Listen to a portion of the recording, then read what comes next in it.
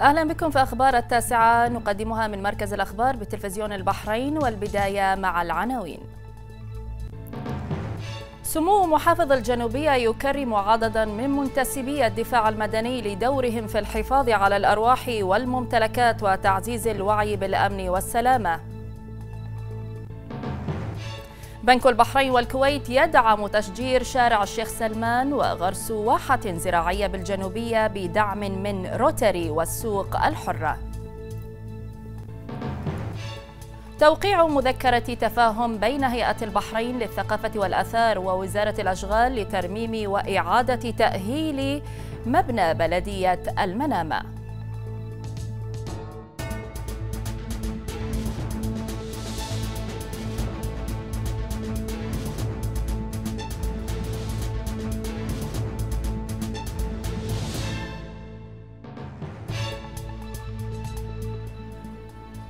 إلى التفاصيل.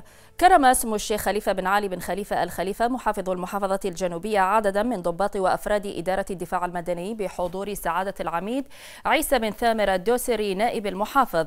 وذلك تزامنا مع اليوم العالمي للدفاع المدني الذي وافق الأول من مارس من كل عام. وأكد سمو محافظ الجنوبية أن المحافظة حريصة على تعزيز الشراكة المجتمعية والأمنية وترسيخ دعائم الأمن والسلامة من خلال تبني البرامج التوعوية الهادفة.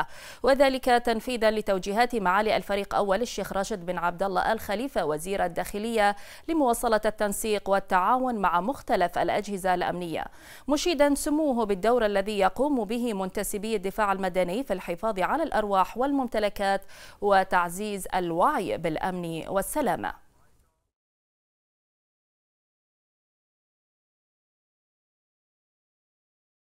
أعلنت المبادرة الوطنية لتنمية القطاع الزراعي بالتعاون مع وزارة الأشغال وشؤون البلديات والتخطيط العمراني والمجلس الأعلى للبيئة عن تلقي دعم من بنك البحرين والكويت لتشجير شارع الشيخ سلمان بالمحافظة الشمالية ب 2575 شجرة وشجيرة بالإضافة لدعم آخر من نادي روتري وسوق البحرين الحرة لتشجير الجانب الشرقي من منطقة عالي في المحافظة الجنوبية.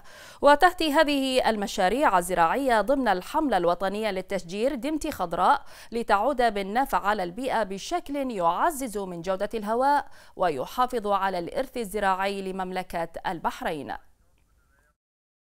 الحمد لله رب العالمين بتوفيق من الله. من 27 موقع تم تحديدهم بداية إطلاق الحملة إلى اليوم. قدرنا أن إحنا نحصل دعم ل 24 موقع. بقي إن شاء الله في مو... ثلاثة مواقع بإذن الله في الفترة القصيرة القادمة مأملين إن ربي ييسر ونقدر نحن ندشنهم معاكم. فالحقيقة آآ آآ ودي إن أنا أخذ هال, هال الوقت في إني أقدم الشكر الجزيل لكل جهة ساهمت معنا في الحملة الوطنية للتشجير.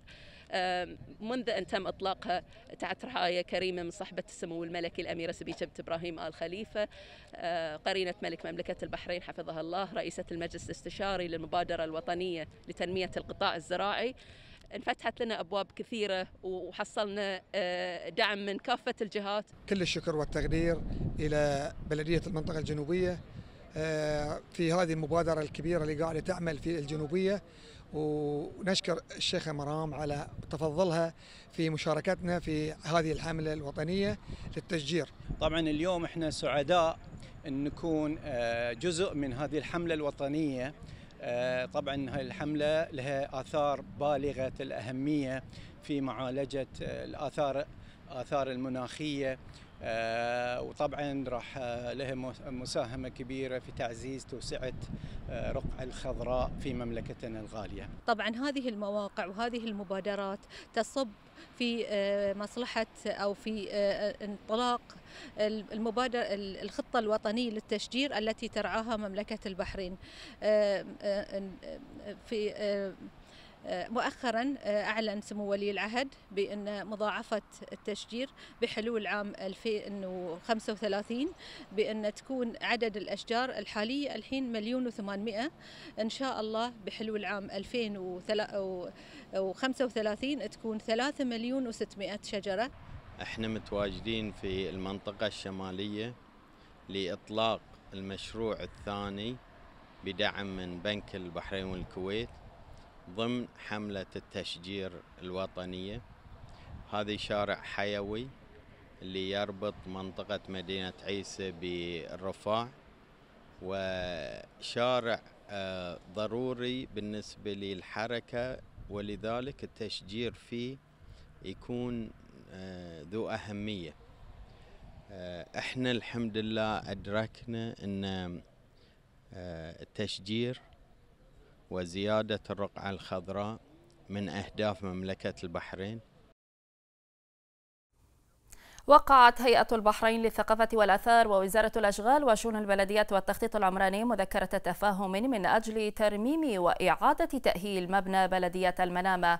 وتأتي مذكرة التفاهم من أجل الارتقاء بالبنية التحتية الثقافية لمملكة البحرين في مختلف مدن البحرين. كما وتركز المذكرة على إعادة ترميم وتهيئة مبنى بلدية المنامة وإعادته إلى شكله الأصلي حيث ستعمل هيئة البحرين للثقافة والأثار على تطوير أعمال ترميم المبنى وفقا للملامح العمرانية التي كان عليها. التاسعة مستمرة وفيها بعد قليل. وزارة الصحة تؤكد أهمية تطعيم الأطفال لزيادة الاستجابة المناعية المضادة لفيروس كورونا.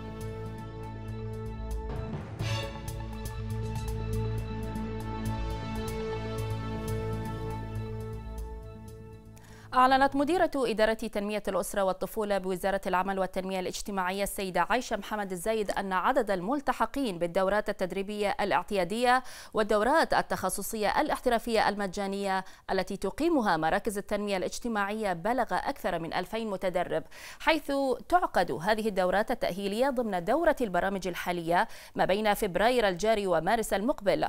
وأشارت الزايد إلى أن هذه الدورات الاحترافية مخصصة لأصحاب المشروعات المنزلية إلى جانب الحاصلين على ترخيص برنامج خطوة للمشروعات المنزلية. وسوف تمتد فترة جميع الدورات التدريبية من شهر ولغاية ثلاثة شهور.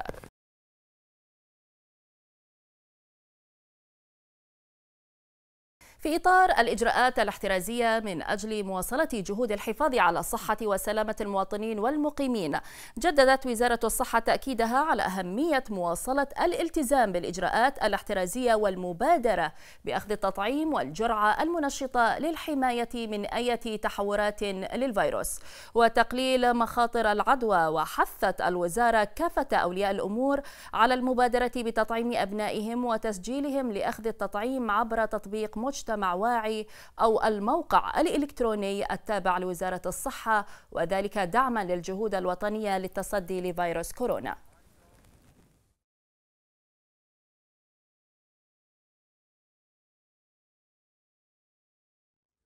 وللمزيد حول هذا الموضوع تنضم معنا عبر الهاتف الدكتورة بسمة محمود الصفار استشاري صحة عامة والوبائيات رئيسة مجموعة التمنيع بوزارة الصحة أهلا بك دكتورة آه، بداية في ظل اكتشاف المتحورات المختلفة لفيروس كورونا ما مدى أهمية الحفاظ على أخذ التطعيم والجرعة المنشطة خصوصا لفئات الأطفال؟ آه، أهلا بكم مساء الخير. آه، طبعا منذ بدء الجائحة أثبتت اللقاحات فاعليتها في التقليل من المرضى والوفيات ومضاعفات الإصابة الخطيرة حيث أن استكمال اللقاحات بما فيها الجرعات المنشطة يسهم في تعزيز المناعة ضد الإصابة لجميع الفئات العمرية بما فيهم الأطفال في ظل وجود المتحورات المختلفة. نعم الدراسات والأبحاث أثبتت آه، أهمية تلقي فئة الأطفال لجرعات التطعيم هل يسهم ذلك في محاصرة الفيروس وقلة انتشاره؟ آه، نعم بالتأكيد نؤكد على ضرورة أخذ اللقاحات المضادة لفيروس كوفيد 19 لأنها الوسيلة الأهم في السيطرة على الجائحة فقد أثبتت الدراسات فاعلية هذه اللقاحات في خفض نسب العدوى لدى الأشخاص المطعمين ومنهم فئة الأطفال لأنهم معرضين للإصابة وقد يكونون أيضا مصدرا لنشر العدوى للفئات الأخرى من كبار السن والفئات الأكثر عرضة لمخاطر الأمراض. لذا فإن اعطائهم اللقاحات يؤمن لهم الحماية وللآخرين أيضا. آه، وزارة الصحة أعلنت مسبقا عن توفير التطعيمات لجميع الفئات العمرية بما فيها فئة الأطفال ما هي التطعيمات المتاحة لفئة الأطفال؟ أتيح أكثر من نوع وهم نوعان لقاح سينوفارم للفئة العمرية من ثلاث أعوام فما فوق وأيضا لقاح فايزر بايونتك من الفئة العمرية من خمس أعوام فما فوق. وبالتالي لأولياء الأمور الحرية في اختيار نوع اللقاح لأبنائهم إما بالطريقة التقليدية أو بالطريقة المطورة للقاحات. كلا اللقاحين أثبت الفاعلية والمأمونية في التجارب السريرية التي أجريت عليه. كما لم تسجل حالات أعراض جانبية شديدة بعد أخذ هذه اللقاحات لفئة الأطفال. نعم الدكتورة بسمة محمود الصفار استشاري صحة عامة والوبائيات رئيسة مجموعة التمنيع بوزارة الصحة. شكرا لك. أعلن معهد البحرين للتنمية السياسية عن فتح باب التسجيل مجانا للبرنامج التدريبي المتخصص البرنامج الانتخابي في إطار التنمية المستدامة وذلك ضمن المرحلة الثالثة من البرنامج الوطني للانتخابات النيابية والبلدية درب اثنان. وأكد القائم بأعمال مدير إدارة البرامج والتطوير السياسي بالمعهد الأستاذ محمد عبد الله الجهمي أن البرنامج يأتي متضمنا عددا من الفعاليات التدريبية عن بعد يقدمها نخبة من الخبراء والمختصين. وأشار إلى أن البرنامج يهدف إلى توعية المشاركين بأهمية أهداف التنمية المستدامة وربطها في العمل السياسي والانتخابي. إضافة إلى وضع برنامج انتخابي يتضمن حلولا للمشاكل التنموية والوصول إلى برنامج انتخابي نموذجي يساعد الراغبين في الترشح للانتخابات النيابية والبلدية.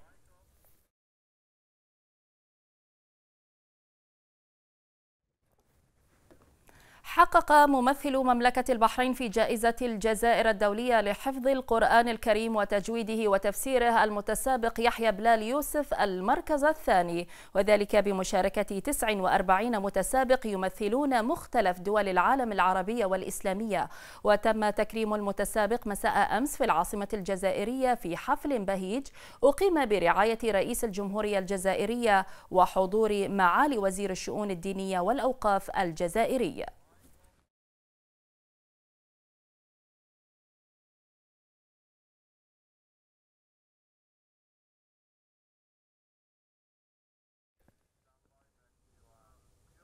وإلى حالة الطقس في محافظات مملكة البحرين.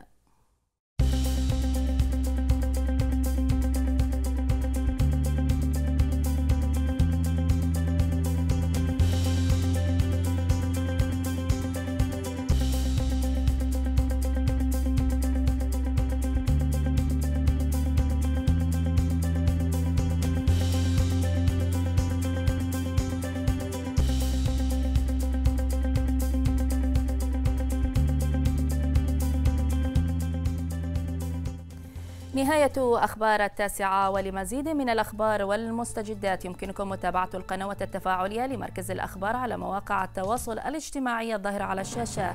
كما يمكنكم متابعة باقة برامجنا والبث المباشر عبر تطبيق BHTV and Radio شكرا لكم على حسن المتابعة وإلى اللقاء.